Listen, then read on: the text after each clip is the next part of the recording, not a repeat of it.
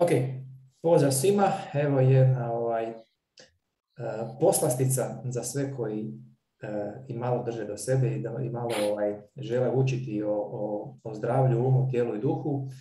E, danas imamo o, jednog sjajnog gosta, man extraordinaire, Aleš Ernst, s kojim sam već napravio bio jedan intervju prije četiri godine, ali u tom periodu je puno lijepih novosti i i razvoja situacije se dogodilo, tako da smo evo odlučili malo napraviti jedan ovaj, novi intervju da vidimo što se sve događalo u međuvremenu i gdje je trenutno uh, ovaj sjajan, sjajan čovjek. Uh, za početak, Aleš, hvala ti što si odvojio uh, slobodno vrijeme. Vjerujem da je tebi pogotovo ovaj, vrlo dragocen svaki trenutak, s obzirom da si jako zaposlen sa svojim obavezama. I za one koji nisu čuli s tebe, za one koji ne znaju, ako možeš ukratko kako bi najbolje opisao tko je Aleš Ernst. Ja, pozdrav svima. Učitelj sam, autor i učitelj, autor sam AIQ metode i AIQ disanja i učitelj AIQ metode petog stupnja. Isto se izvodim i školovanje novih učitelja AIQ metode. Generalno bavim se istraživanjima i, i pronalaženju načina kako razumjeti i smanjiti kroničke bolove, kronička stanja, kroničke bolesti kod ljudi koji pate zbog tih problema.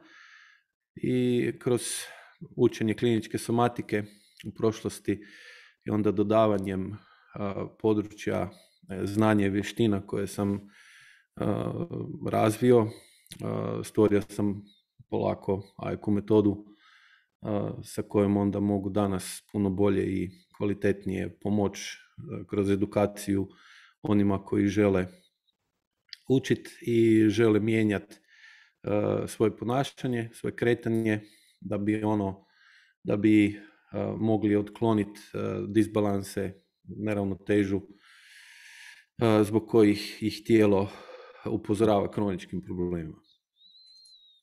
Obično ljudi koji tako ovaj, odu dublje malo u, u te neke tematike, uvijek nekako krenu od toga da uh, prvo sebi su nekako htjeli pomoć, toliko su valjda bili isfrustrirani pa su onda ovaj, kroz to prvenstveno što su pomogli sebi, onda su nekako kasnije išli dublje, dublje to, pa su nakon toga počeli pomagati drugima. Da li je to i kod tebe bio slučaj, da li ste zbog svog nekog osobnog E, problema, bolova i nečega e, ušao u tu cijelu priču. Da, 2010. sam biti pokušao naći rješenje za dugogodišnji išijas e, u somatici, pa sam onda otkrio kliničku somatiku, vidio po prvim pokusima rađenju vježbi iz knjiga da mi pomaže, da taj pristup koliko god bio skoro diametralno suprotan od svega što sam prije probao, u biti daje puno bolje rezultate, a sa druge strane mi je po početnom otporu, jer sam bio drugačije naviknut, tipa no pain, no gain, samo biti skužio da je taj pristup logičniji i da ima da ima puno bolje e, temelje e, zašto mi uopće pomaže, onda sam biti skužio da to što mi je bolje nije samo placebo, nego e, baš da je imao dugoročan učinak. I onda naravno sam, takav je sam po prirodi očito htio doći do dna tome što, zašto to je tako, pa sam krenuo učiti kliničku somatiku kod Marte Peterson, onda do kraja završio školovanje kod nje, počeo poučavati kliničku somatiku u Sloveniji i u Hrvatskoj, onda sam tu blizu granice i onda kroz praksu shvatio šta sve na čemu temelji zašto pomaže i šta fali, da ne pomaže kao što je nekad pomagalo. I onda, kao što sam prije rekao, kroz razvoj i sve više klijenata koji su želi li si pomoći na taj način razvio tu dodatak taj ili nadgradnju. I jasno riješio svoj išijas u hodu toga svega što sam radio. Sjajno. Kako bi e, ljudima nekako najjednostavnije definirao somatika? Šta bi to točno značilo? E, somatika kao, e, kao pristup je u biti sve što temelji na biofeedbacku, znači na osjećajima, na senzornoj, senzornoj povratnoj informaciji iz tijela, znači što god da radimo, ako pokušavamo što bolje osjetiti vlastito tijelo dok to radimo, govorimo o somatskom pristupu. E, znači, a, a somatika je, uh, ajmo reći, područje gdje se tijelo i um definiraju kao ne nešto što ne možeš razdvojiti što je zajedno. Doduše i kod somatike razdvajaju um i tijelo zbog lakšeg, zbog lakšeg objašnjenja, ali u principu se cijelo vrijeme osoba gleda kao cjelina da bi na takav pristup povećali sposobnost da osjećamo sami sebe.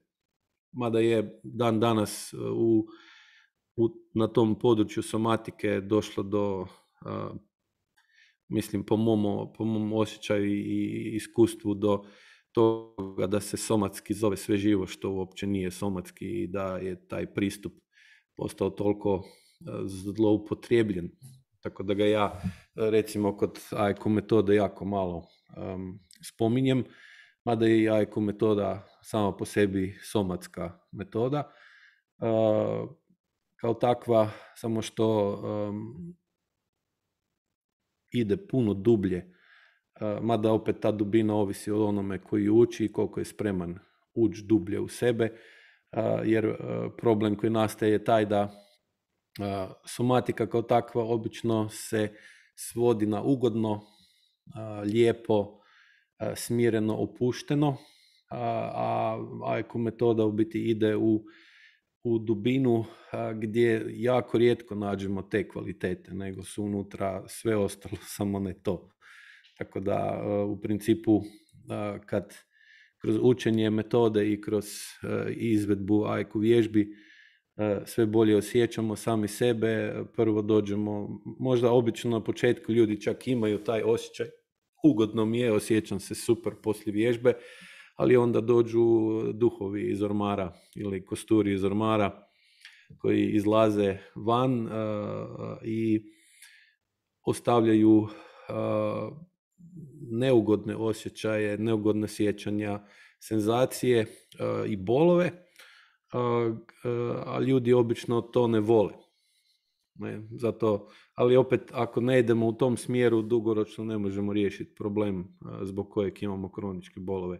I to je u biti, mislim da najveća razlika između klasične somatike i AEQ metode, gdje se tu baš ide u smanjivanje blokade osjećaja iz tijela prema svijesti, a sa druge strane se kroz edukaciju koju učitelj AIQ metode drži i educira klijenta mu dovoljno razjasni zašto mora prvo proći kroz bolno ili loše, da bi onda kasnije mogao ići u manje bolno i dobro.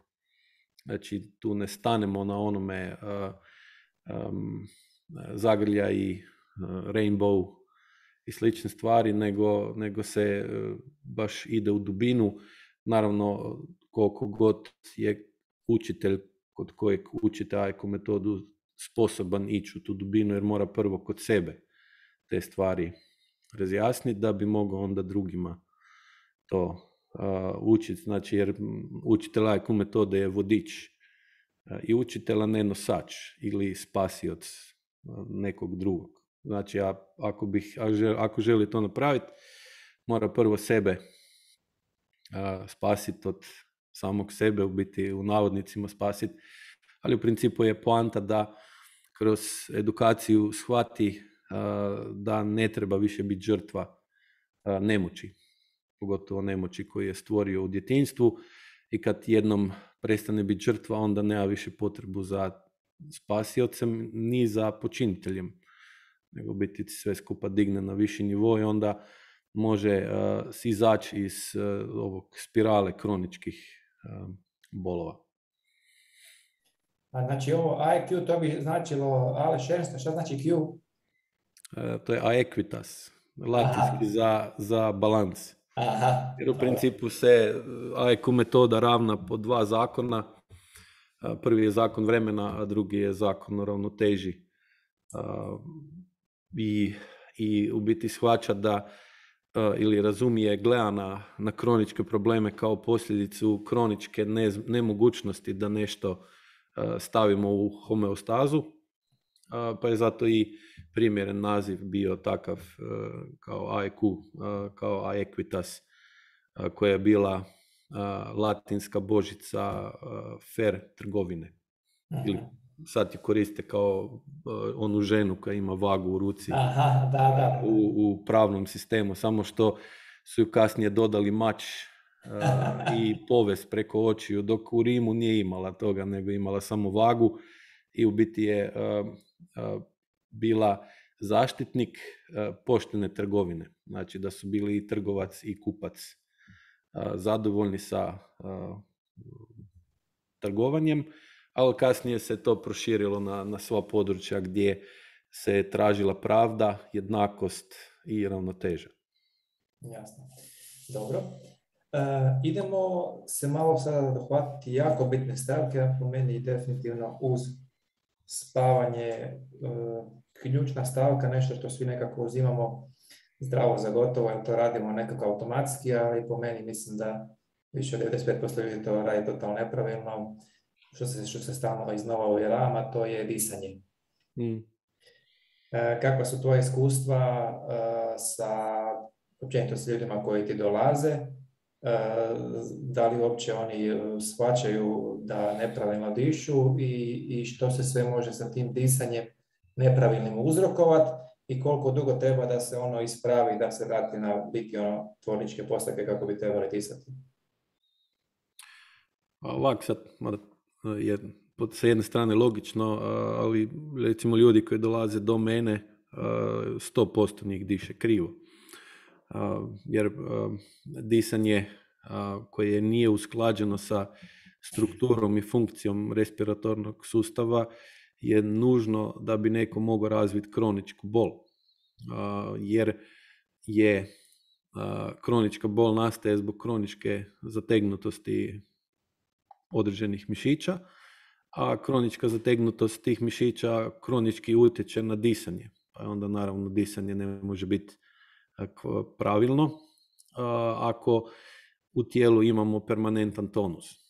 Sad, pravilno disanje po AIQ metodi ili ti, ako smo, ako smo specifični AIQ disanju, je disanje koje je neučinkovito. Znači da za to da promijenimo plinove u pljučima i u krvi, potrošimo više energije nego što je potrebno ili i kad naše disanje nije adekvatno realnom stanju u kojem jesmo trenutno. Znači da dišemo brže nego što je potrebno ili sporije nego što je potrebno ili da ne možemo imati pun udah ili pun izdah ili da i kad smo u parasimpatičkom stanju, znači u miru, nemamo dišnu pauzu između izdaha i novog udaha. Ali to uglavnom je, je problem kod ljudi sa kroničkim problemima u 100% slučajeva, generalno mislim da smo na 95 je dosta optimistično postoja, mislim da je čak više, puno više, osim ako recimo tu ne ubrajamo djecu do dvije godine starosti, a poslije dvije godine već i tamo, osim ako baš žive u nekim jako nerazvijenim područjima, oni isto dišu puno prebrzo, znači uglavnom su u stanju hiperventilacije i u stanju da za disanje jako malo koriste trbušnu, znači dijafragmu. Ne. Iz toga onda dolazi do tog problema vanjske vidljivo, gdje možemo već izvana vidjeti krivo disanje, iako nismo, ako ne kužimo stvari dublje, a to je disanje na usta, koje danas uglavnom ljudi kad ih gledate kako voze auto, kako hodaju i slično, bez da su u nekom jakom treningu ili na visokom pulzu, uglavnom više manje dišu na usta, što je normalno opet krivo, ali opet disanje na usta je samo posljedica nekvalit, neučinkovitog kretanja i promjena tonusa mišića u torzu, znači u tijelu koji nije koji, nisu usklađeni, pa je zato trud koji moramo uložiti da udahnemo ili izdahnemo veći nego što bi trebao biti i onda da sistem pomogne disanju da ga barem malo lakša diše kroz usta, a ne kroz nos.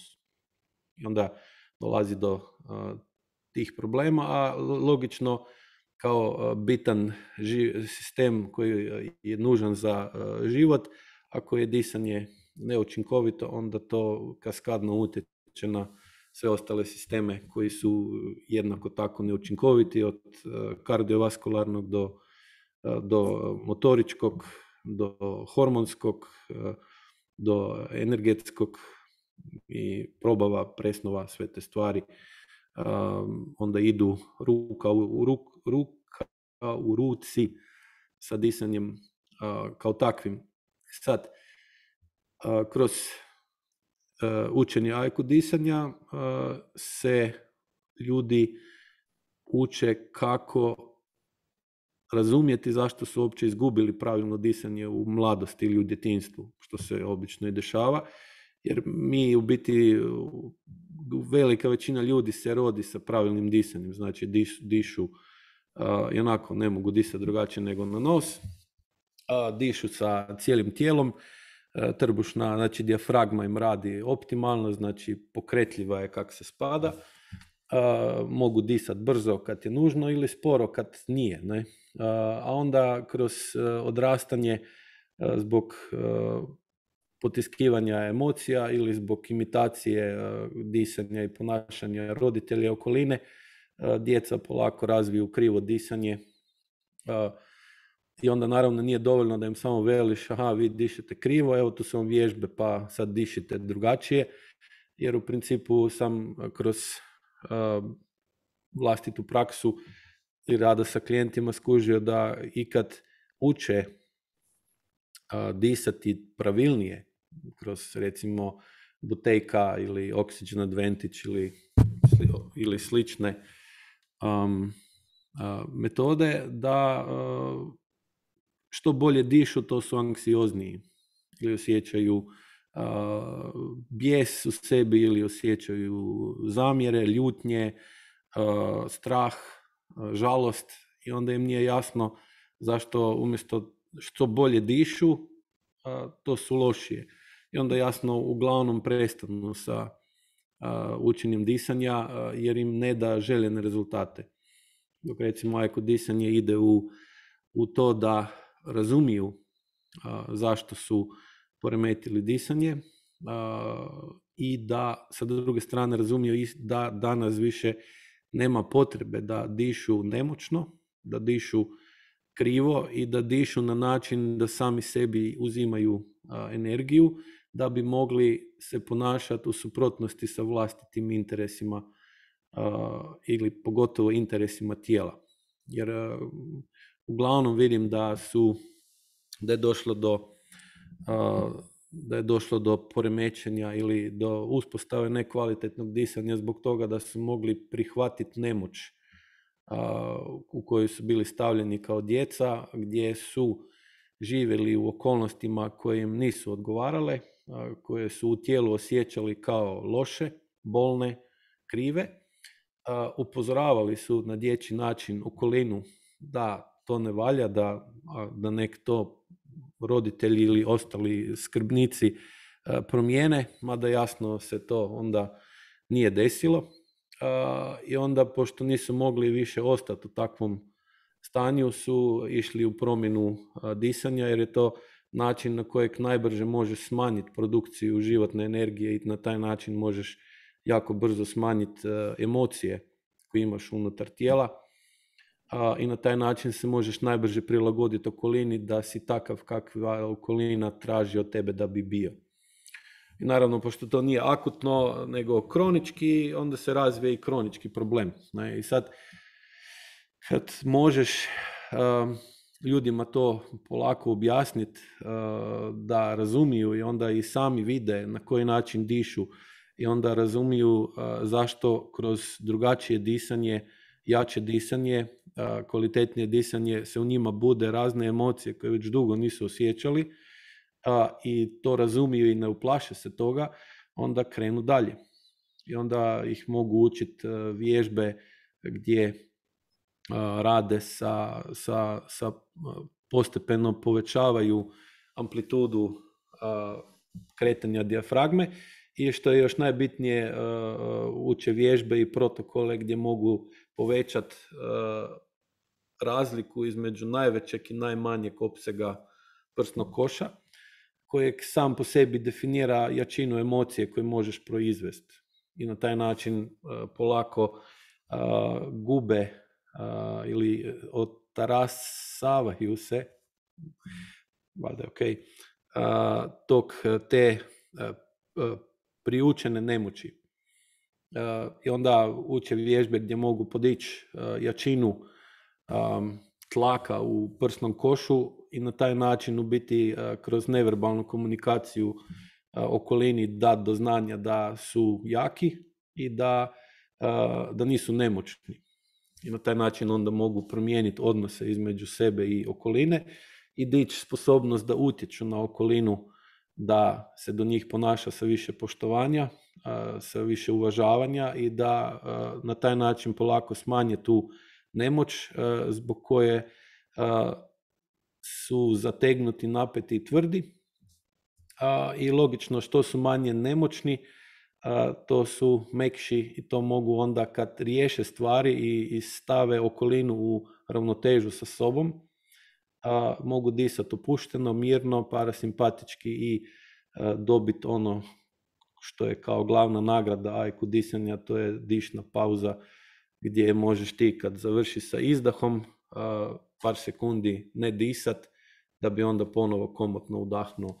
I na taj način smanjiš e, broj udisaja u minuti na 7, 8, 9 kad je sve ok, a, a, a sa druge strane je, je bitno to što to da je sve ok ne postižeš time da si stvoriš neku iluziju, neka uvjerenja e, kao ja sam dobro ili ovak ili onak, e, nego si zbilja ok jer si, spre, jer si utjecao na stvari da su dobro i onda možeš na taj način i disat.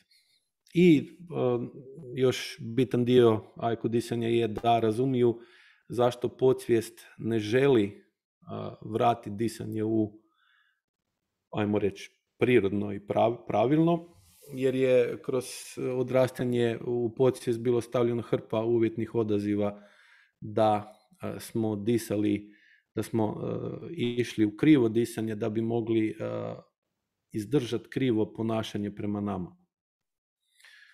Tako da, kad onda to sve skupa staviš, dolazi do toga da se razvije jako moćna metoda koja može ljudima i um, ljudima omogućava da promijene glas, da promijene način izražavanja, da promijene utjecaj na okolinu, i da postanu opet bitni i moćni, ali sa druge strane jasno da ne iskorištavaju tu bitnost i moć za loše stvari. Da, to je jako, jako duboko kad ovaj, što jednostavno pokušavam objasniti šta zapravo znači biti fit, koliko je to biti ima slojeva, ali ono, da. da, to rijetki samo odu tim putem. E, mislim da će biti jako puno, ovaj, pogotovo sad s ovom cijelom situacijom zadnjih dvije godine, ljudi, sve više anksioznih ljudi i sve to. E, šta misliš, će se može smanjiti anksioznost sa, sa pravilnim disanjem? Da, ali ne, ne sa pravilnim disanjem, nego sa pravilnim ponašanjem. uh Ali pravilno disanje jasno omogućava pravilno ponašanje jer koliko god ti možeš pravilno disat, ovisi, ovisi sve skupa o tome na kakav način ćeš odreagirati na ono što osjećaš u sebi ili na ono što osjećaš oko sebe. I zato je recimo sastavni dio učenja AIQ metode AIQ disanja, dizanje emotivne zrelosti i emotivne učinkovitosti. Znači, tu govorimo o tome koliko jaku emociju može osoba proizvest pa ostati pribrana i zrelo koristiti tu energiju za to da riješi problem ili ispuni želju ili sebi ili drugima i, a sa druge strane opet koliko jaku energiju može primiti iz okolice u obliku emocije ili emocija i da može na nju odreagirati e, zrelo, odgovorno, iskusno i mudro. A učinkovitost izražavanja emocija, e, po to razumijem, radimo razlike između izražavanja emocija i učinkovitosti izražavanja emocija. Jer jako puno ljudi imaš koji ne izražavaju emocije, nego ih drže u sebi. Jako puno ljudi imaš koji izražavaju emocije svuda okolo, ali niš s time ne postignu, nego cijelo vrijeme izražavaju emocije o istim stvarima i po 10-20 godina, bez da se išta promijeni. Znači, kod tipa ono psilaju, karavana prolazi.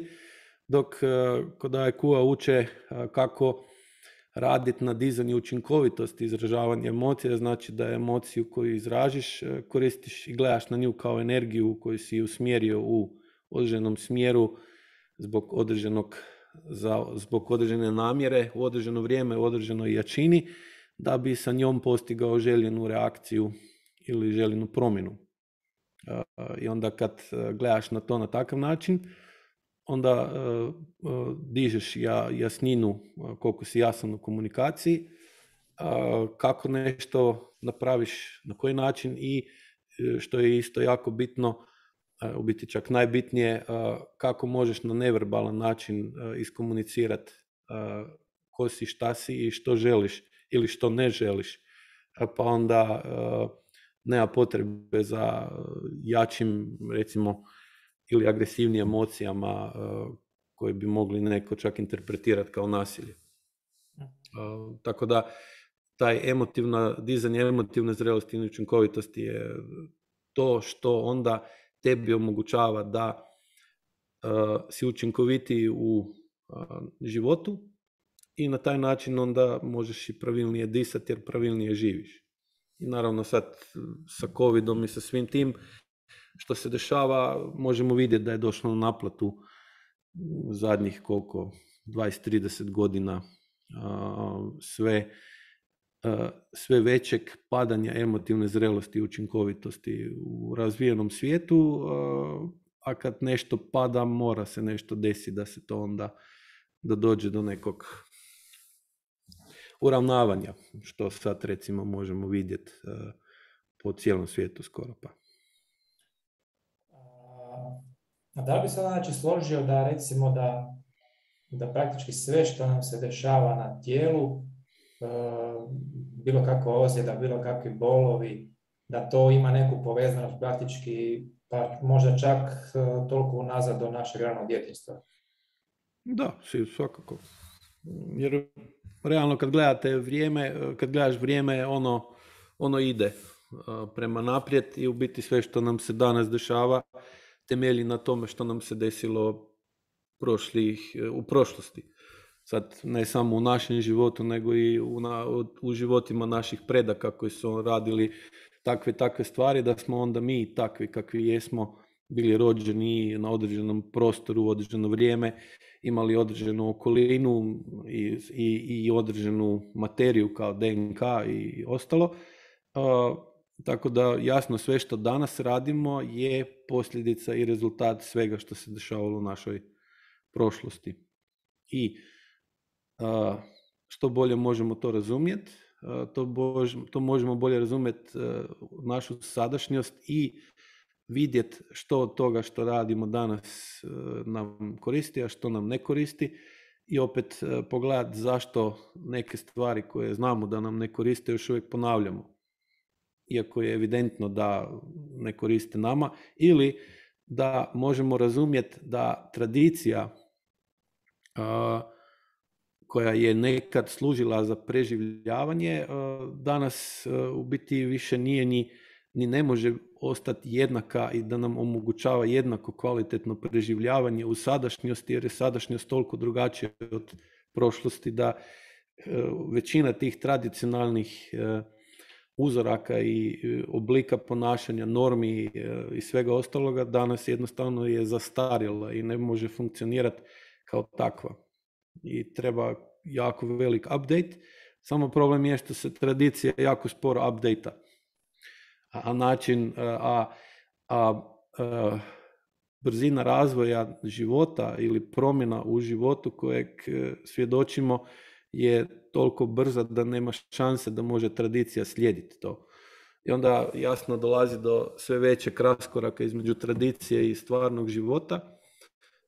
A, a sa druge strane, kad gledamo, je e, podsvijest najviši, e, podsvijest, naša podsvijest u biti je čuvar tradicije, dok e, naša svijest može ići i preko toga i preko tradicije, što danas mora, ako želi barem normalno negdje funkcionirati, a onda se desi to da što je veća razlika između razina na kojoj imamo podsvijest i razine na kojoj imamo svijest, to moramo imati jače napete mišiće u tijelu da bi tu razliku držali, što dugoročno je neodrživo jer jednostavno kronička napetost u mišićima je u suprotnosti sa funkcijom mišića koji mora imati primjerene razdoblja i napetosti i opuštenosti.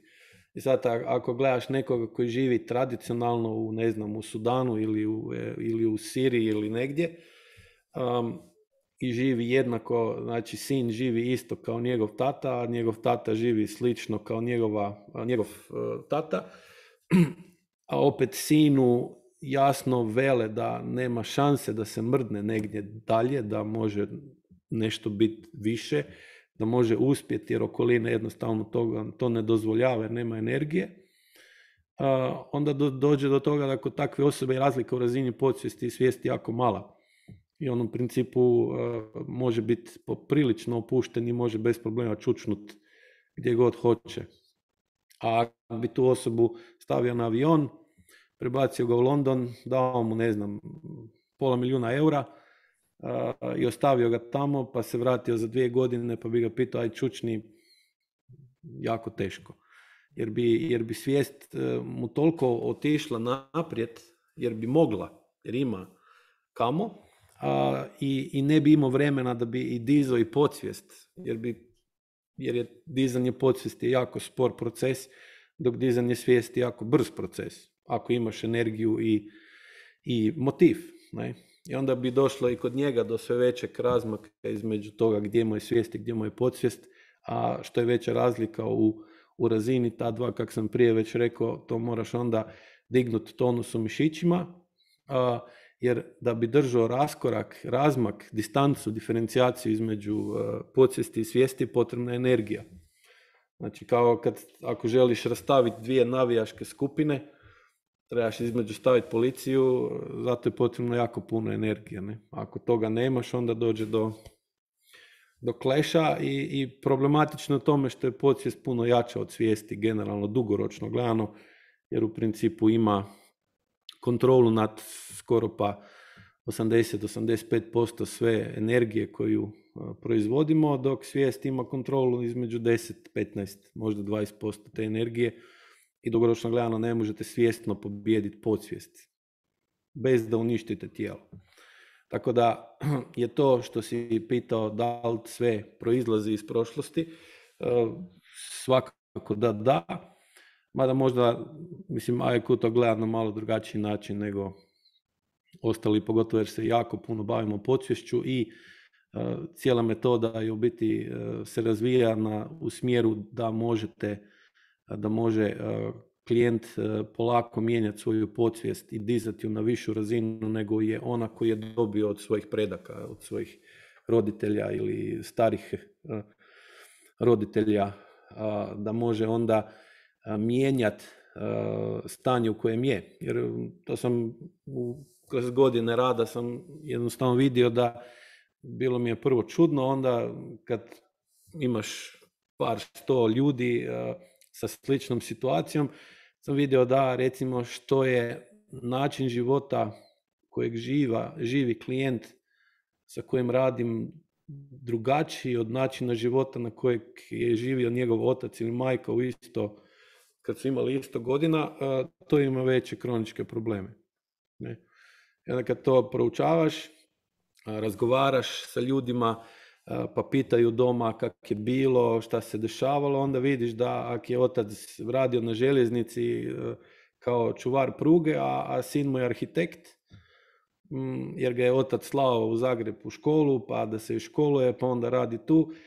Sin je u biti otišao u Zagreb sa počešću njegovog oca, znači sa tim svim navikama koje su njegovom ocu omogućavale da funkcionira kao čuvar pruge, e, dok je sin morao e, razviti jako puno e, uzoraka koje su tipični za arhitekta da bi mogao to biti. A, a, a vrijeme u kojem je mogao to razviti nije bilo par generacija, nego par godina.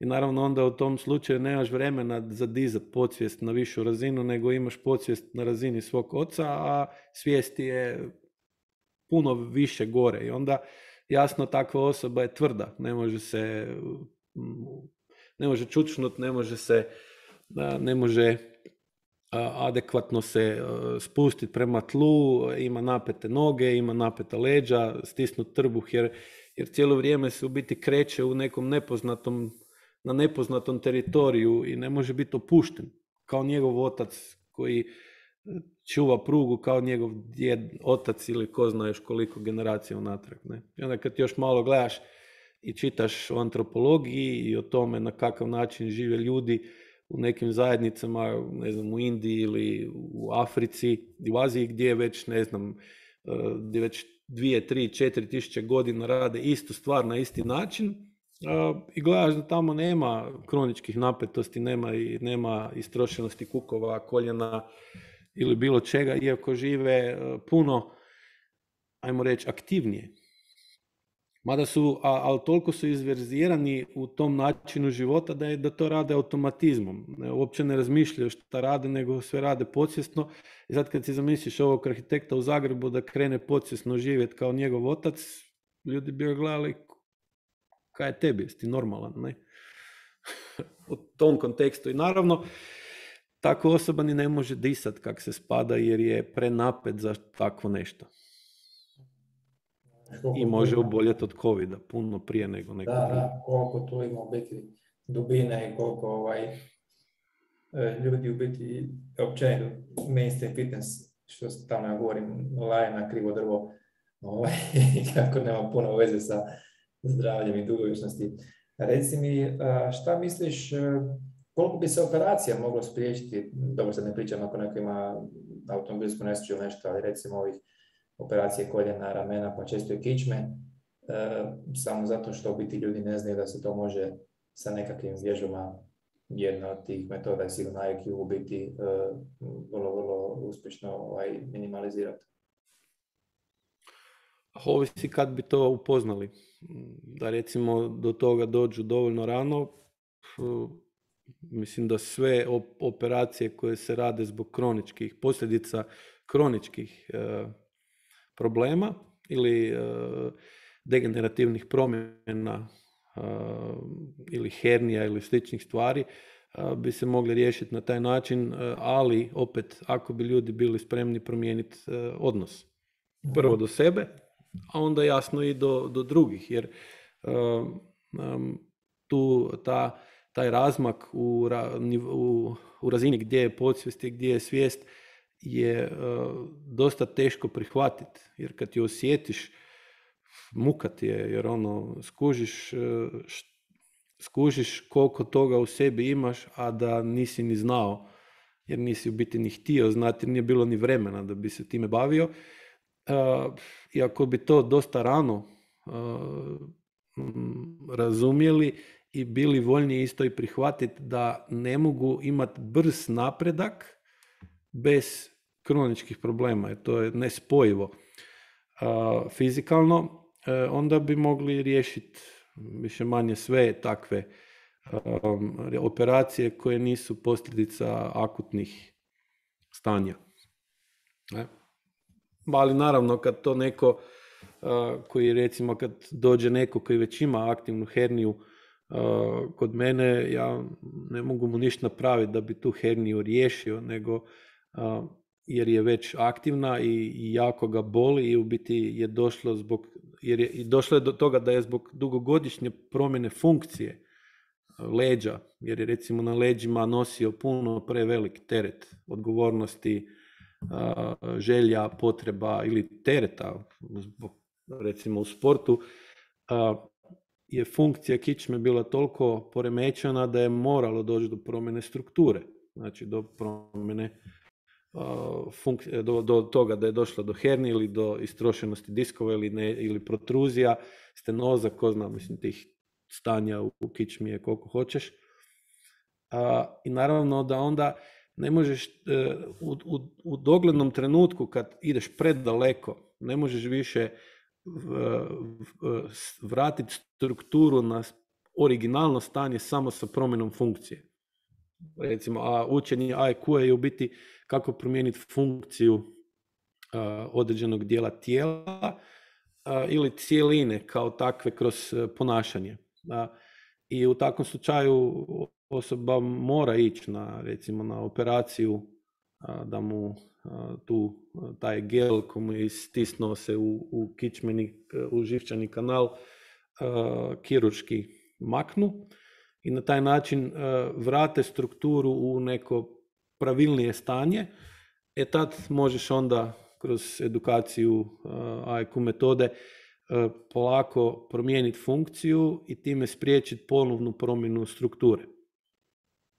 Da bude e. jasno. Znači, sa drugim riječima, da ne dođe opet do hernije ili u, u lumb, lumbalnom dijelu kičme ili bilo gdje drugdje.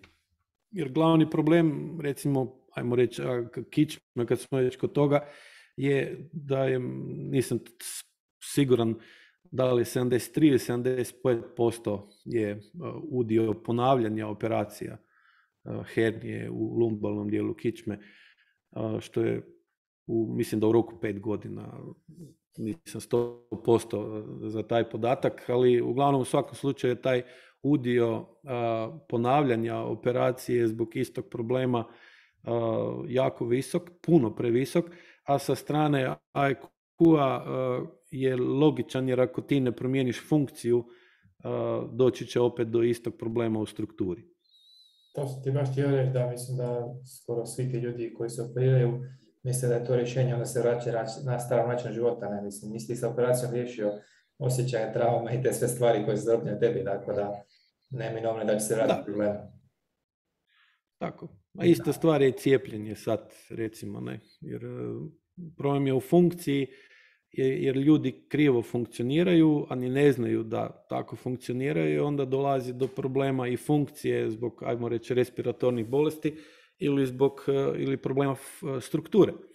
I naravno cijepivo može tu e, spasiti nešto, ali dugoročno gledano e, je tu problem funkcije, gdje mi morali ljudi promijeniti odnos do vremena, odnos do gravitacije, odnos do toga kako dobro osjećaju vlastito tijelo i, i što je još bitnije, koliko dopuštaju da realan osjećaj iz tijela utječe na njihovo ponašanje, na, njihovo, na njihovu svijest i volju.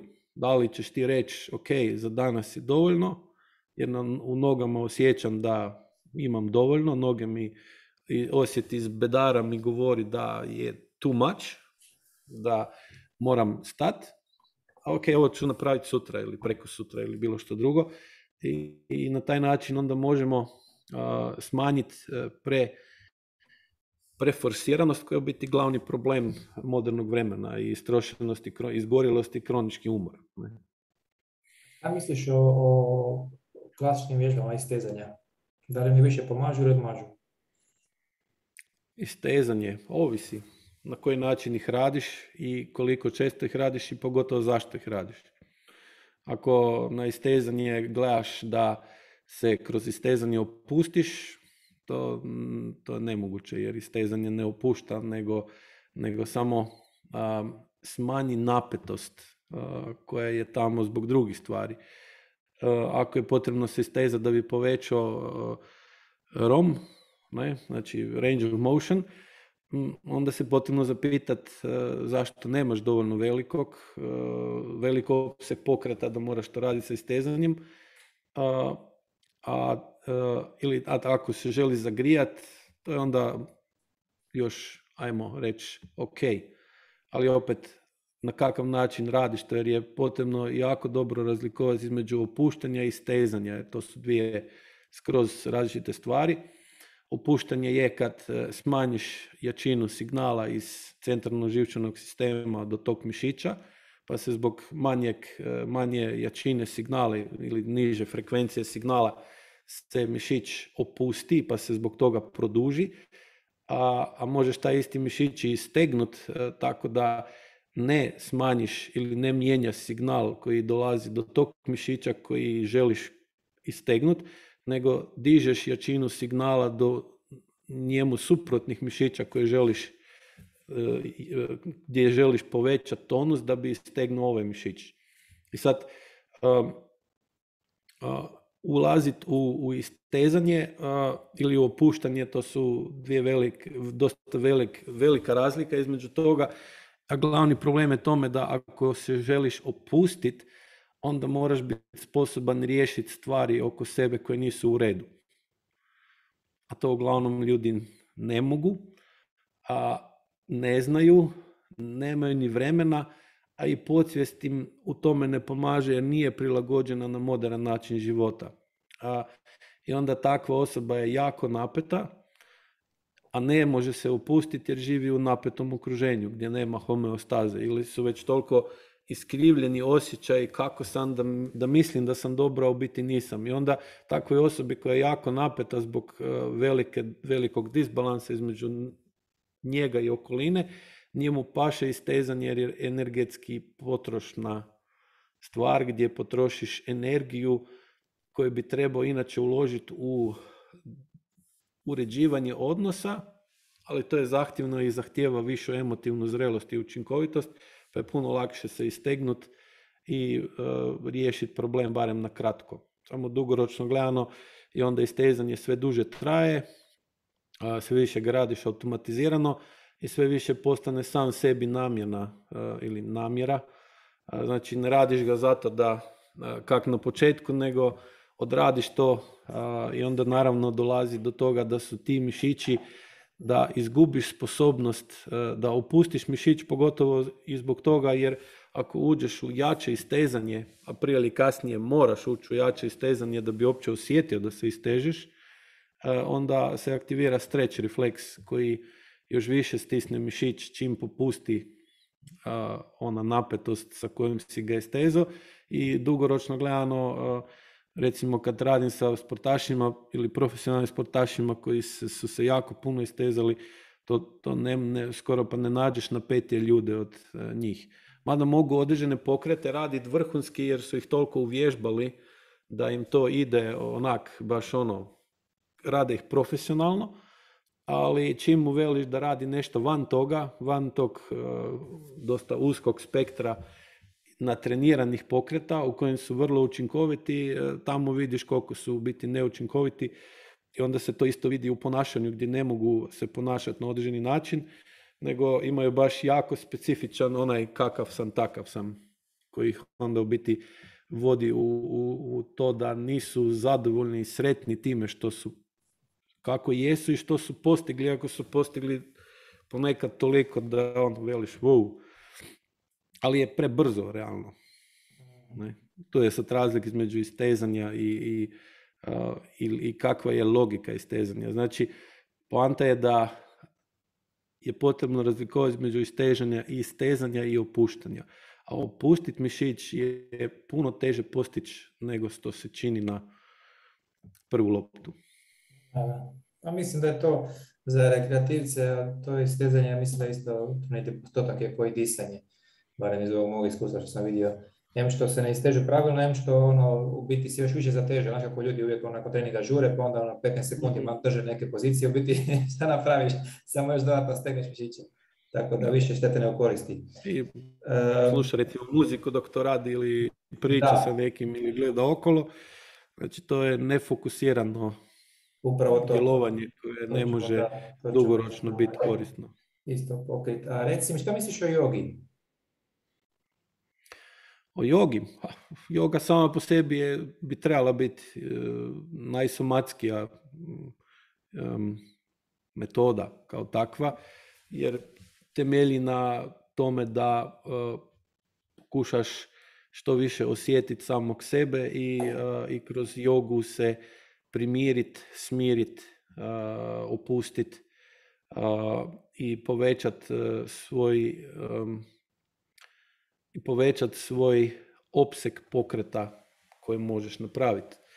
Sad, problem je da kao sve tradicionalne metode su morale, ha, kao sve tradicionalne metode su morale u moderno vrijeme promijeniti svoj način pristupa jer je tradicionalan pristup za, za modernu osobu predosadan. Znači mora, mora biti dodatna neka akcija, mora biti učinkovit, znači pristup da učinkovit po pitanju da možeš što prije postići što više. I naravno kad čitaš recimo indijske vede, u njima lijepo piše da je yoga rezervirana za ljude koji imaju emotivno visoku zrelost, koji su biti već skoro pa sveti ljudi, mislim da se tako prevede.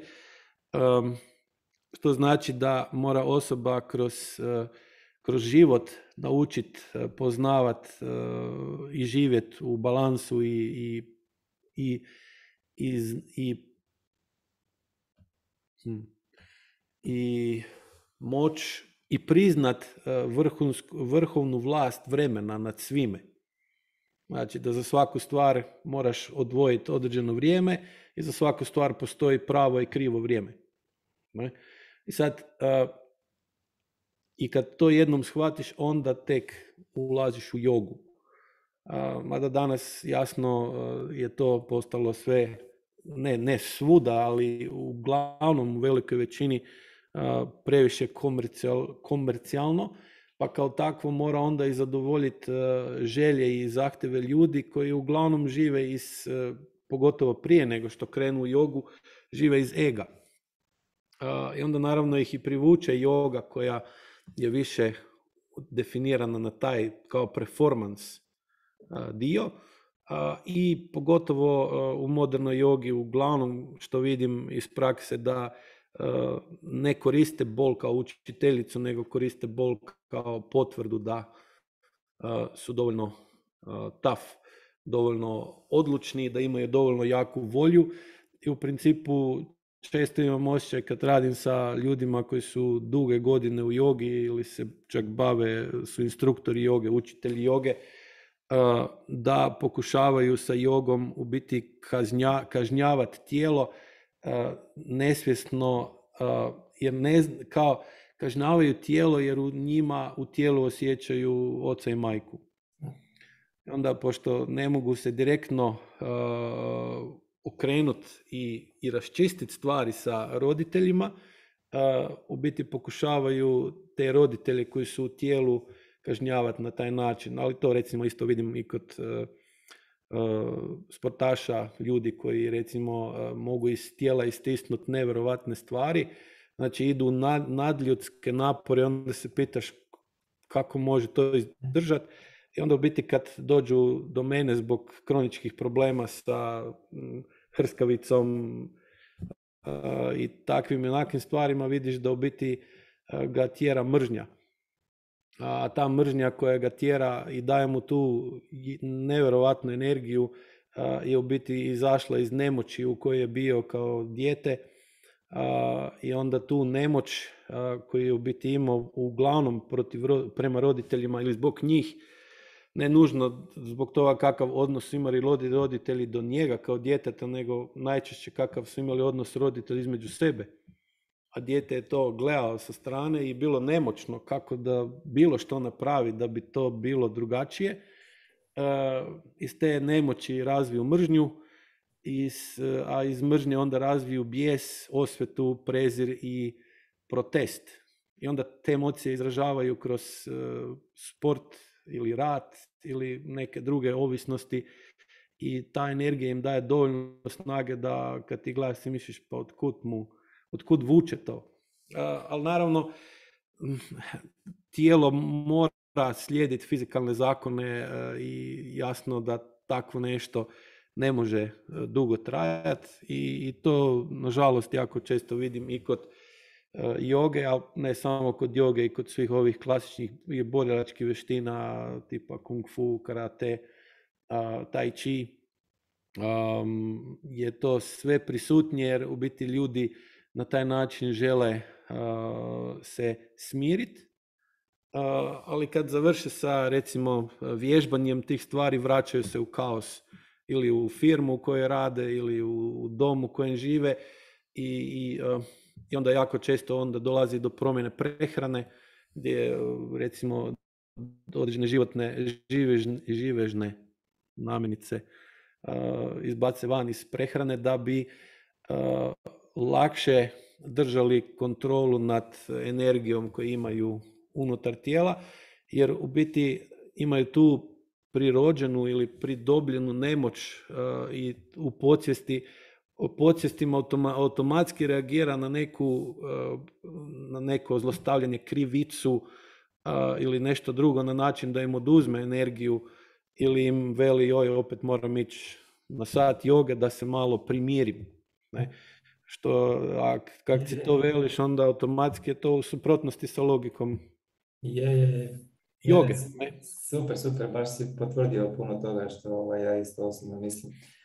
Uh, ma mislim da sve to općenito biti što dolazi ovdje u zapad svijeta što nije originalno, znači odavde, znači tipa iz Indije, to, to se sve nekako prilagodi za ovaj naš ovaj, e, način života i ubrzani to sve i ono, mislim da za, ovaj, za zapadnjake u biti najveći benefit joge može biti kroz to disanje u biti, što oni barem na neki način malo ovaj, nauče to disanje usporiti, malo više nekako povezati možda malo tijelo sa, sa, sa umom, a opet s druge strane puno ima tih krajnosti ti to postane neko natjecanje ko će se više i bolje neku pozu ovaj, rastegnuti i ono može stvarno i biti ozbiljnih ozljeda od toga pogotovo za ljudi koji su već sami po sebi e, dosta mobilni. Ili, ili ulazu, ulaže, ulaze u hiperekstenzije da, da, i hipermobilnost, a hipermobilnost je uh, samo po sebi nemoć.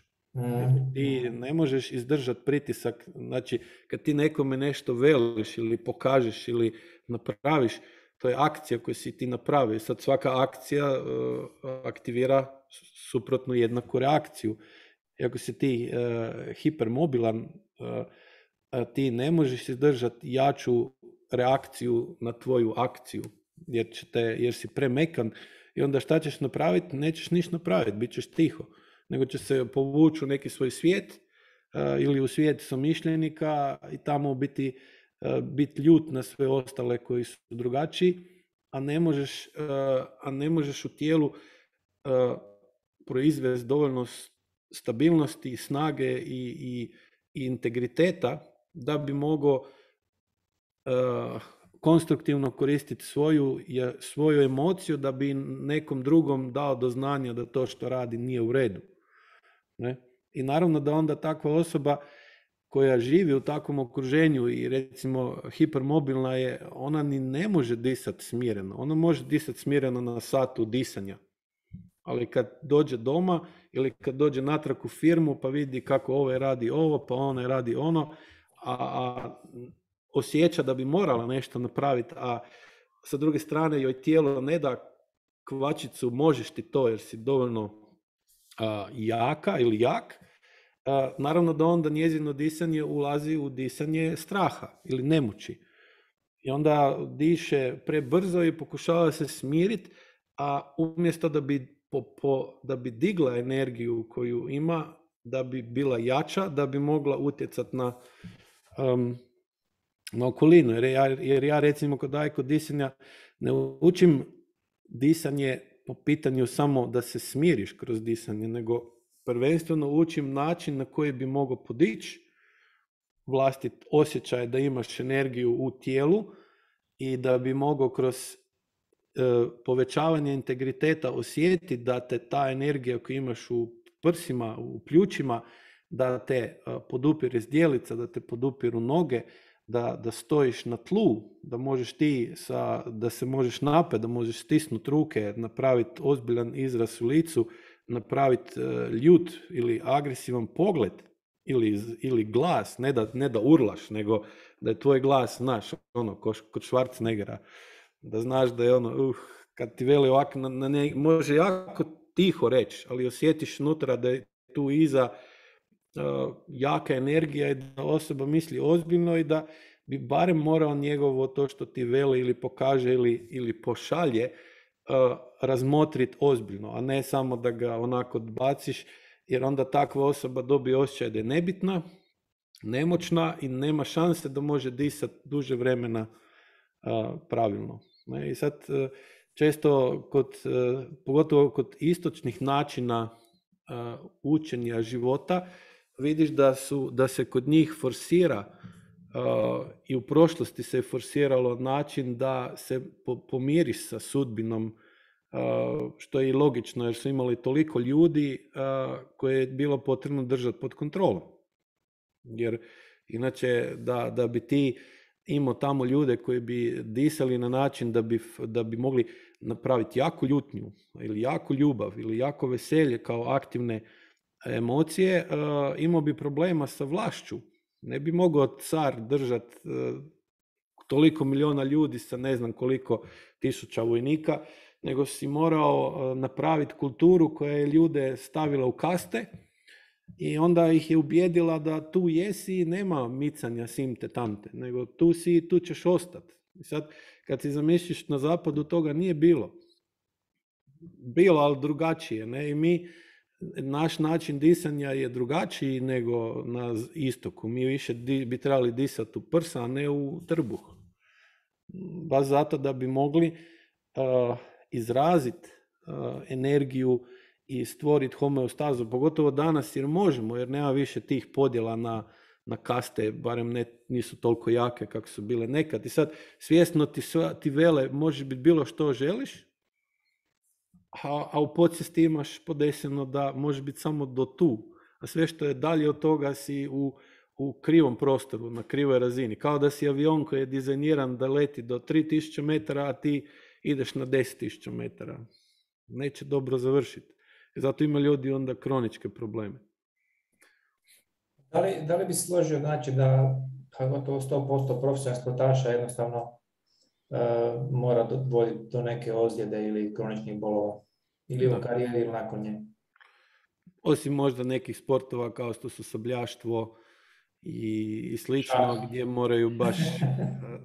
Da, šah isto.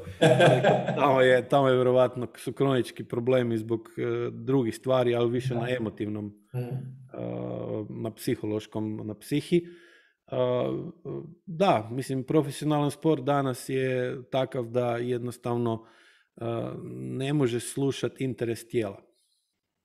Barem nije se moglo. Ja sad radim sa, sa više vrhunskih sportaša koji biti e, mogu spojiti jedno i drugo, da mogu slušati tijelo, interes tijela i mogu imati vrhunske rezultate zato jer se ili bave sportovima koji su unutar tih normalnih prirodnih energetskih e, razina, tipa maksimalna, maksimalnu energiju koju možeš proizvesti možeš ju proizvoditi tamo negdje, ovisi o genetici od 5 do 5, od 10, od 5 do 10 minuta, na 80% možeš bez nekih uh, kroničkih problema držati uh, do 45 minuta, a na 60% možeš to držati jako dugo.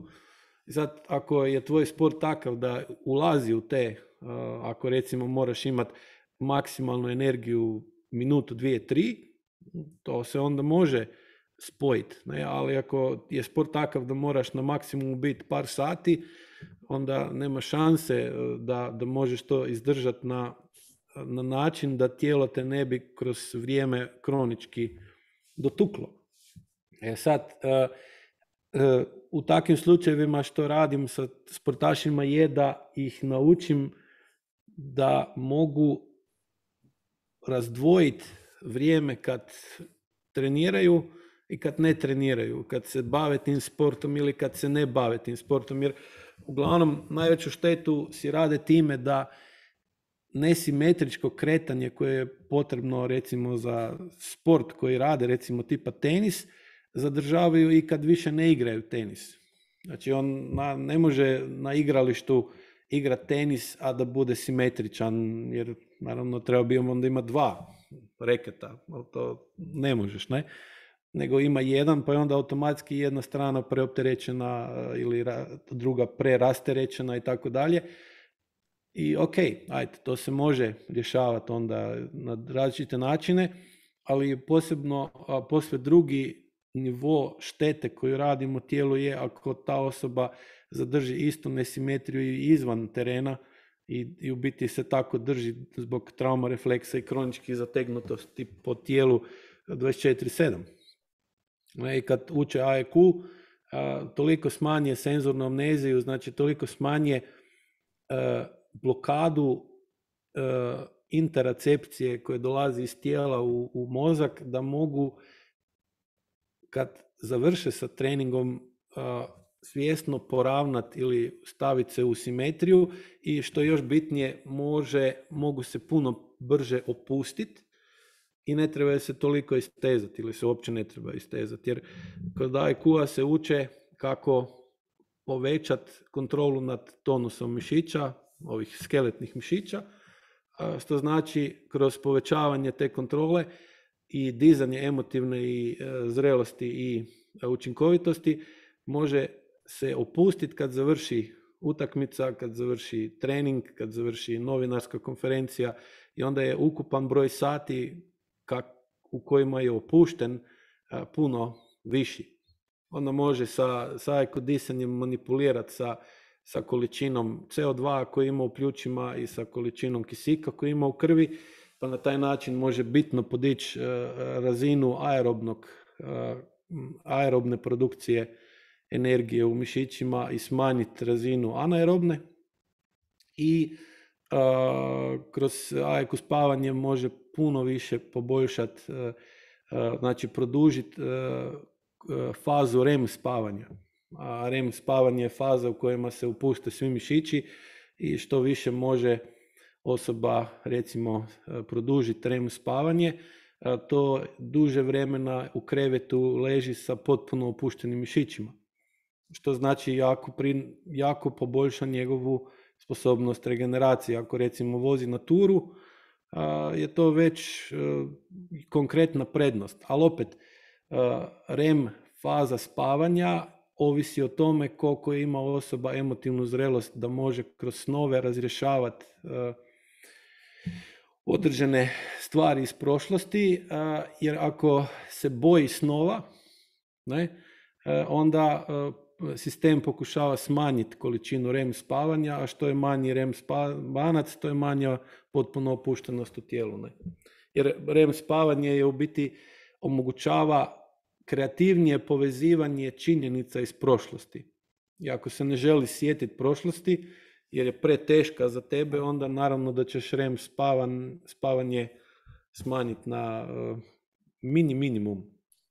Koliko bi po tebi trebalo biti? 20% ukupnog sna ili više? 30. 30? Mm. 30 rema, 30 deep sleepa, a ostatak negdje između. To je za većinu vjerojatno znanstvena fantastika.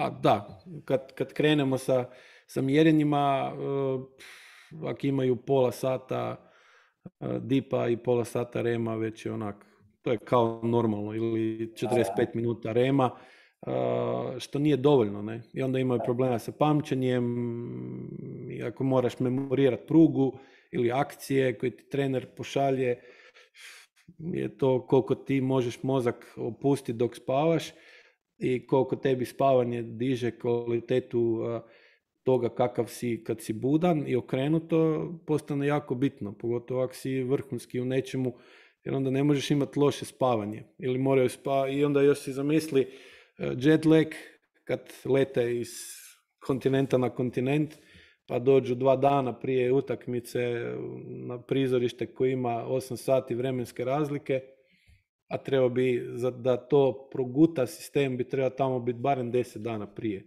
A naravno to jako često ne mogu i onda se nakupi toga. Ne? I onda je osoba sve napetija, jer e, se u spavanju ne opusti. Mišić, e, pošto nije do kraja opušten, e, ne može ne može razviti maksimalnu snagu i onda pokušavaju maksimalnu snagu dizati sa dodatnim treninzima, što još sve skupa vodi u još veći u još veći problem koji neminovno mora završiti sa povredom negdje na nekom dijelu tijela. Sad, ko je to je drugo, drugo, Kako misliš po bodybuildingu recimo kao načinu vježbanja s obzirom da tu je stalno napetost mišića to sve ovaj, i u biti govoriš koliko je bitno da, da znamo, bitno da znamo opustiti te mišiće i to sve. Kako biti, da li oni mogu onda dugoročno uopće ovaj... A kod bodybuildinga, sad direktno iskustva sa bodybuilderima sam imao samo mislim da jedno ili dvije, dva klijenta sam imao koji su se baš bavili bodybuilding onak uh, konkretno. Uh, biti se je pokazalo da, da um, traže uh, i mobilnost, znači da, da su realno su bili toliko bijesni da, da su bili tvrdi od bijesa, ono, baš ukočio se i tipa onoga, držite me da ga ne ubijem. I sad, pošto ga niko ne može držati, mora držati sam sebe. I onda tu, e, jer da bi ti stvorio mišićnu masu, ti trebaš u nju uložiti jako puno energije. Ako nema viške energije, nema viška mišića, to znaš dobro i sam. I onda kad se pitaš odakle mu ta energija, bio još isti problem kao kod nekog koji može na Mont Everest se popet ili, ili radi ili e, pretrči e, ultramaraton ili kaj znam kaj sve ne, onda se pitaš odakle mu ta, čemu? I onda dobivaš uvijek isti, isti razlog, a to je mržnja. Samo ju na različite načine koriste za to da bi postigli nešto sa čime bi dokazali da nisu nemoćni ili da nisu nebitni, mada jasno to jako rijetko upali jer, jer roditelji ne mrze svoju djecu nego mrze svoje roditelje, ali pošto ne mogu do svojih roditelja, pogotovo zbog četvrte Božje zapovjedi, doći do svojih ili ne smiju tu mržnju pokazati roditeljima, oni ju prenesu na, na djecu, htjeli to oni ili ne. Obično ni ne ide po svjesnim kanalima, nego po, po podsvjesnom kanalu, gdje se ponašaš na neverbalnom, na, na podsvjesnoj razini, jednostavno kopiraš isti obrazac ponašanja, mada svjesno možda si potpuno drugačiji ili ponekad si ekstremno drugačiji izvana, da nekog, da dijete ludo voliš, a u biti na neverbalnoj na razini, na podsjetnoj razini u to dijete šalješ sve te signale gdje dijete onda se toga je nemoćan pred time i pokušava udovoljiti svemu što je potrebno samo da bi roditelji bili zadovoljni. I naravno onda se razvije ta jaka nemoć, iz nemoći nastaje mržnja, a tu mržnju, a ta mržnja onda nam daje, ako imamo pune frižidere, toliko energije da možemo čuda raditi. Mada dugoročno onda dođe do totalnog ukočenja sistema, pogotovo u trbušnoj šupljini, gdje je epicentar tih energija. I onda dolazi do sve većih problema i sa probavom, presnovom, disanjem i svim ostalim životnim funkcijama koji iz, izviru iz visere, iz trbušne šupljine. Znači, hoćeš reći da nije zdravo imati trbušnjake? Ovisi kada. I, ako ih imaš cijelo vrijeme, to sigurno nije, nije normalno, niti dobro, jer u principu onda dolazi do premalo promjene tlaka u trbušnoj šupljini i peristaltike i u biti svi ti vitalni organi nemaju prostora za funkciju.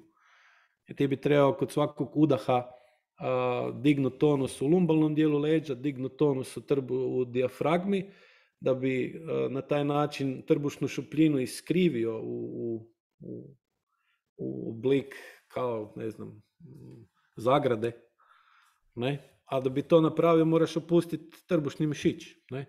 I na taj način se onda trbušna šupljina stisne sa gornje strane jer se iskrivi i trbušna pre, dijafragma može se spustiti dolje. I ti možeš na, na taj način naj, najlakše i najtočnije udahnut, a kad se trbušna, a kad se dijafragma spusti dolje, raširiti ovaj dio um, prsnog koša gdje je najviše krvi najviše alveola. Alveola znači da može kisik uh, ući u krv, a CO2 izaći iz krvi. Ne, prvo CO2 izađe iz krvi, pa onda kisik uđe u krv. A, a to ne možeš napraviti ako imaš uh, kontrakciju abdomena dovoljno jako da se vidi da se vidi trbušnjaci. Ne? Jer onda u tom slučaju ti ne možeš iskriviti trbušnu šupljinu, pa ne možeš onda udahnut, nego onda dišeš u, u, u prsa tako da raširiš uh, ili digneš ramena, napinješ vrat, uh, ili je tvoje disanje jako plitko i brzo, što opet uh, jako negativno utječe na valgus, znači na ovaj živac i smanjuje količinu ili vrijeme provedeno u parasimpatikusu. Što opet onda vodi u neravnu težu. Ovaj dio će se jako svidjeti ovima koji imaju 20 kg viška. A ne, to je, to je previše. Ali poanta je da digneš tonus kad je nužno, kad je potrebno i opustiš ga kad je to, kad ga ne trebaš. O tome govorim. I sad balans, balans. imaš ljude koji su cijelo vrijeme previše opušteni i ne mogu dići tonusi kad bi to bilo za da im spasi živu glavu, a opet imaš u drugom ekstremu ljude koji su cijelo vrijeme napeti i ne mogu se opustiti, a kad se opuste ili uh, pokušavaju opustiti kroz uh, jak umor, alkohol ili neku drugu substancu, onda uh, osjećaju jaku anksioznost mm. i onda se plaše toga. I onda mm. pobjegnu opet u napetost jer mi je tako Tamo je sigurno. Da, da. A reci mi, šta misliš o vježbanju uz glazbu, recimo, recimo nekakve ljudi nakon to vole staje slušalice ili nekako napao neki, neki rock ili nešto, ono, nabijanje, neki metal, izbacuju to nekako ono iz sebe u biti, koliko to uopće može biti dobro, kako to uopće možeš povezati um i tijelo u to sa svim tim distrakcijama, jer glazba isto jako utječe na, na, na tijelo. Opet, rekao si sam, ako, ako time izbacuju nešto van iz sebe, to ne valja. Jer to što izbaci iz sebe bi trebali usmjeriti u utjecaj na ono što ih tjera u, u, u problem, da bi to rješavali, smanjivali i onda ne bi trebali više niš izbacivati. ako, ako se trenira nešto što jako dobro već znaš, onda glazba ima svakako smisao. Ako se vježba da bi nešto naučio, ili digo kvalitetu kretanja, onda ne.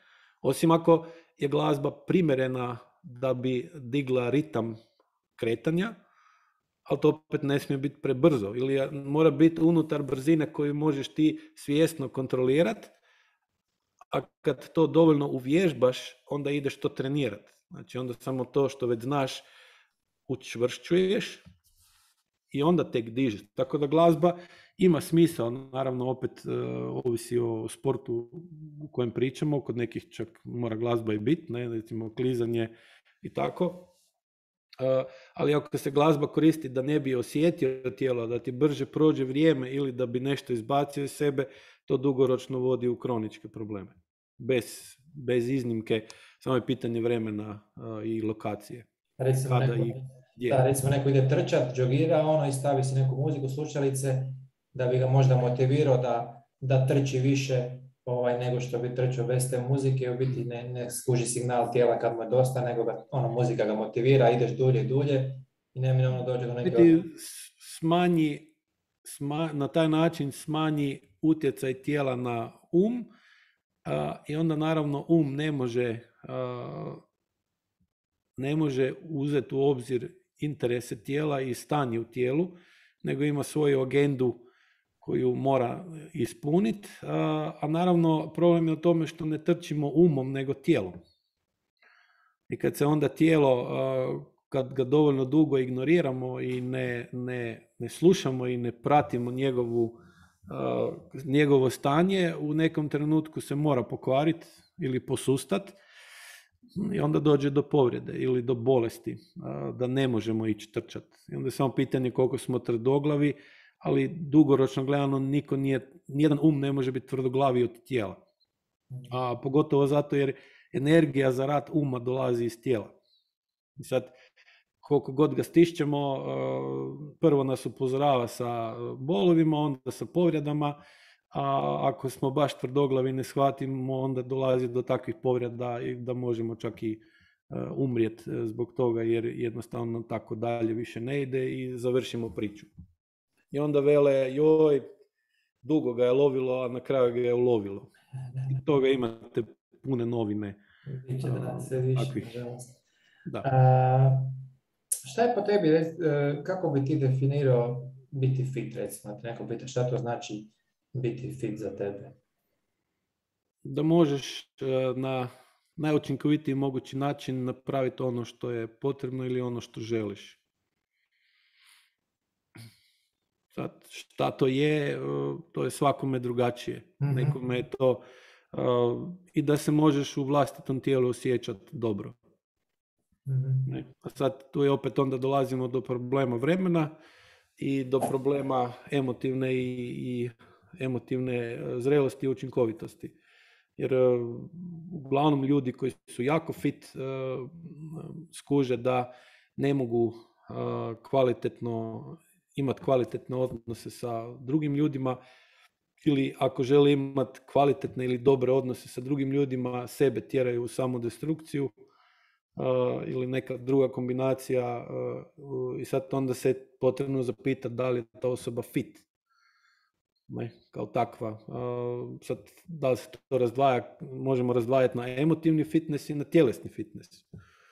Jak oba dvoje štima, ne? ali generalno je poanta da možeš koristiti uh, intuiciju i inteligenciju da bi na najučinkovitiji mogući način uh, riješio problem ili ispunio želju ili sebi ili drugima. Da li bi se složio da je fitness za estetski, znači prije svega cilj i fitness za zdravlje i dugovečnost totalno dva drugačija uh, smjera i cilja? I, ovaj... Mislim, mogu biti jedno i mogu biti, morali bi biti povezani.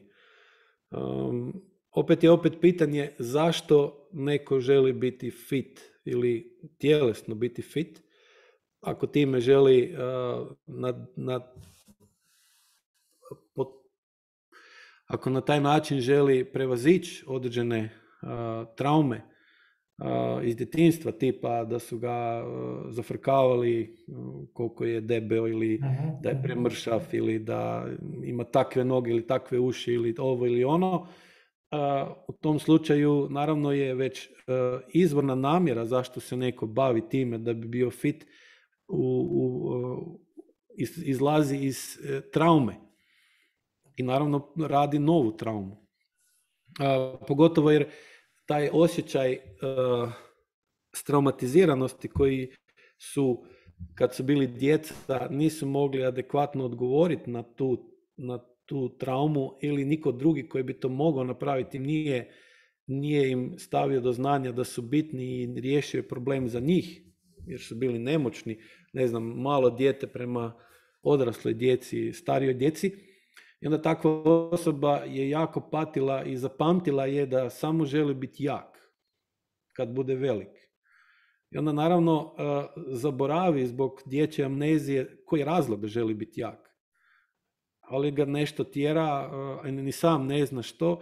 I jasno takva osoba se onda uputi u fitness i ne, ne može ni slušati tijelo, jer da, ako bi slušao tijelo, onda bi se sjetio tih događaja, a to mu je jako neugodno i onda mu je puno lakše staviti slušalice i napraviti još dvije serije po 50 trbušnjaka.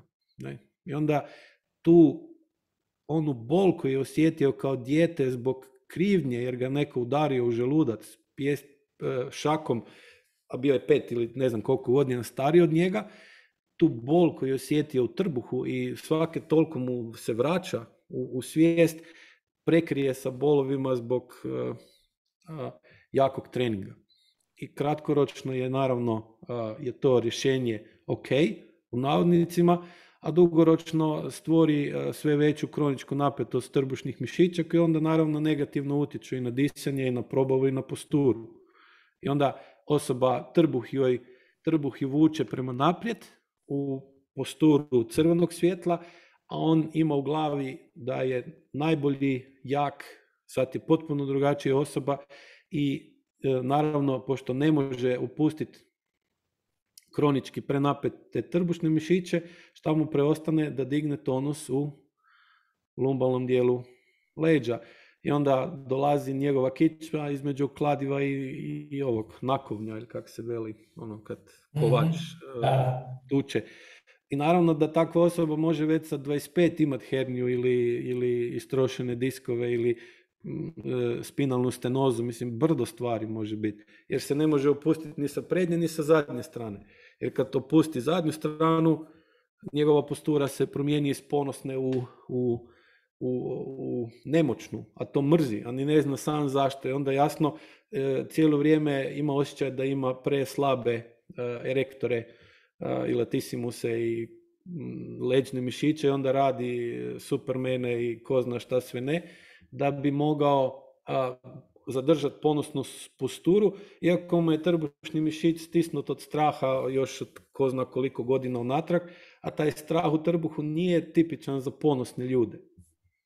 Naravno on glumi da je ponosan, mada ne zna to. E, I onda dolazi do, do kroničkih bolova u, u sakroilijakalnom zglobu, išijas, e, istrošenost ne može, ne može recimo opustiti do kraja kuk, ne može do kraja opustiti koljeno, onda se isteže da bi opustio trbušni mišić, ali sa istezanjem ne možeš opustiti trbušni mišić, nego ga još više stisneš.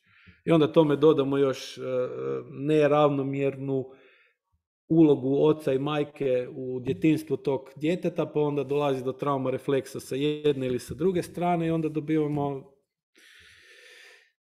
veselja punu šaku. Mada se to sve može uh, poboljšati ili otkloniti, ali opet ovisi kada i da, naravno. To je, jer to, jer AEQ je edukacija, a edukaciju ne možete raditi zato jer vam je neko rekao da trebate ili da morate, ili često, ne znam, radim sa muškarcem i onda mi on veli, joj, ja bi vam htio i ženu dovesti. Ne možeš, mora ona htjeti. Ili okrenuto, jer to je kao da nekog prisiliš da mora ići u školu, naravno da iz te škole neće biti e, ništa. Jasno, jasno šta je po tebi budućnost fitnessa? Ha. To fakat ne mogu reći. Ne znam. Mislim, fitness kao takav uh, energetski gledano je nesmislen. Jer u principu ljudi tamo uh, troše viškove energije. Ne? Znači kad gledamo sa te strane je neprirodan. E, naravno i, i način života na koji živimo je totalno neprirodan, pa je onda i logično da to postoji. Tako da e, budućnost fitnessa po mome bi trebala biti e, ta da mogu ljudi se više opustiti, da, da mogu ljudi se naučiti kako da se opuste, jer jedino na taj način mogu povećavati svoju kreativnost. Znači, smanjivanje tonusa mišića u tijelu diže, realno diže parasimpatično stanje.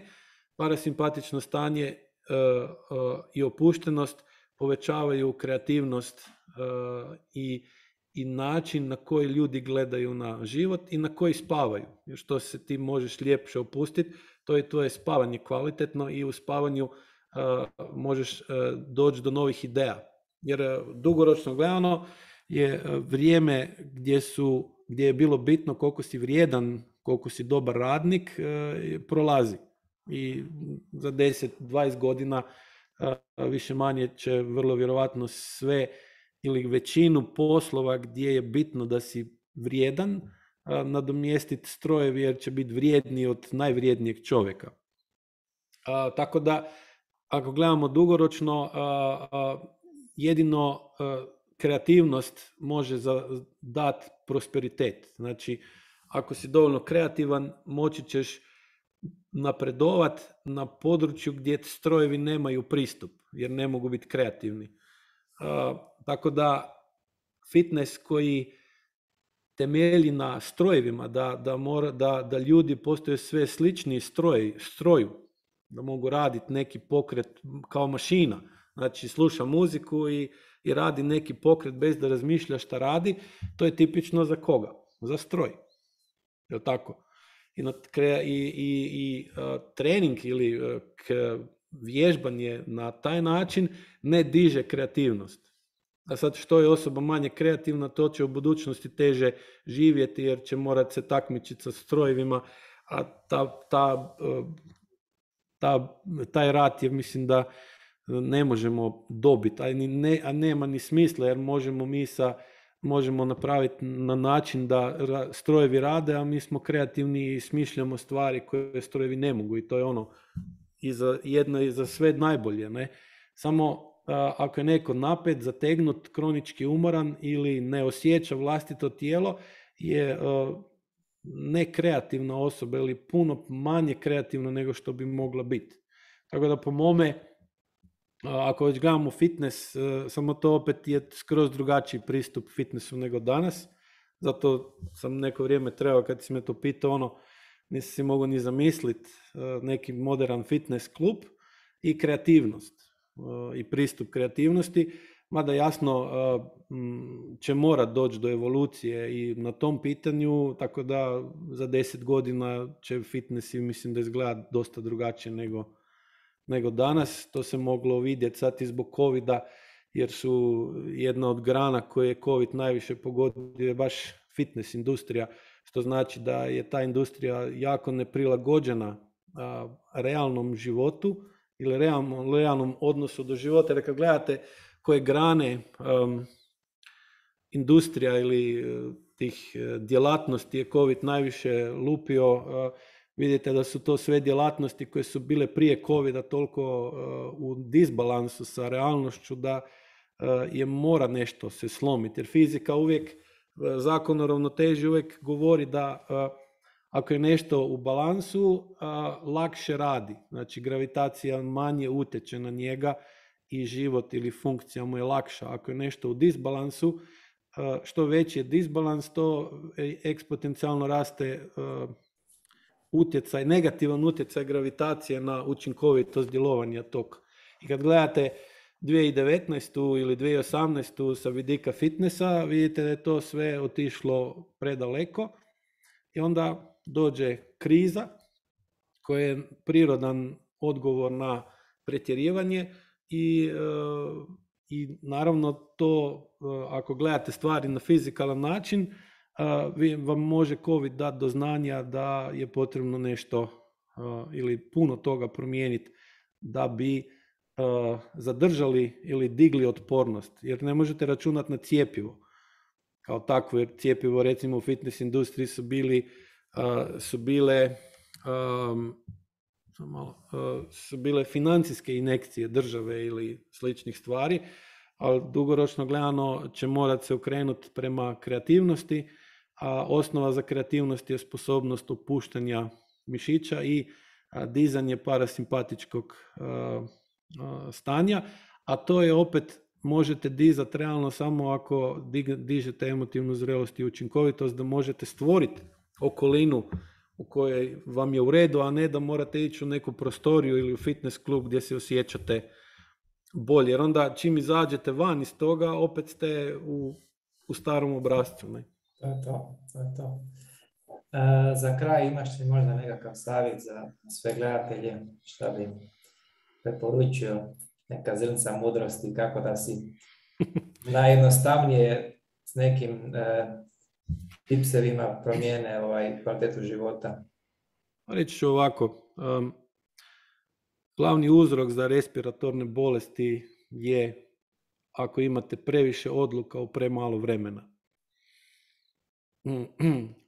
Zato i naravno potisnute emocije, pogotovo gdje morate potisnuti strah što će biti sutra, šta će sutra opet smislit. To naravno stavlja veliku težinu na, na tijelo, na ramena ljudi koji žive u tom vremenu, koji živimo u tom vremenu i naravno ne da nam disat. Doslovno. I onda jasno, ako to traje dugo vremena, onda dolazi do, do takvih problema, do respiratornih bolesti. Tako da moj savjet bi bio da analiziraju i bave se više time kako se osjećaju, zbog čega se osjećaju, kako se osjećaju, da li su zbilja nemoćni u toj situaciji u kojoj se osjećaju nemoćno ili, ili ne. Ako osjećaju prezir, mržnju, protest i bijes, onda je to posljedica nemoći, onda je potrebno pogledati od kud to izlazi i da li mogu ja svjesno sad kao odrasla osoba drugačije odreagirati nego kad sam imao pet godina. I na taj način se uh, lakše smiriti, bolje spavat i onda je otpornost na bilo što puno veća. Što mislim da je dugoročno gledano će biti najbitnija stvar u sljedećih par godina jer će se to što sad vidimo će se samo potencirati i vrlo vjerojatno sve skuplje naplaćivati. jer to, to što gledamo je ko, ko recimo ako, ako ćeš ići googlat prošlost financijske pomoći države hrvatskim brodogradilištima. uh Ista stvar. I ka, kad je to krenulo i koliko dugo je trajalo i kako je završilo.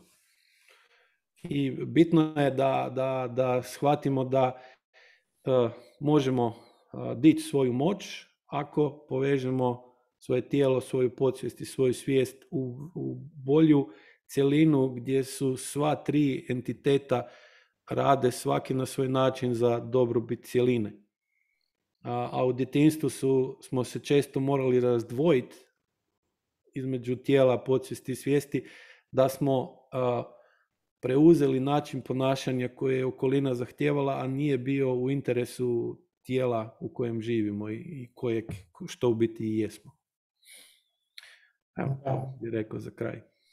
Da, to je ono što ja mislim da će najveće posljedice će biti ove cijele priče imati reakcije ljudi na, na situaciju, ne, ne ovo što se događa, nego kako ljudi reagiraju na to što se događa.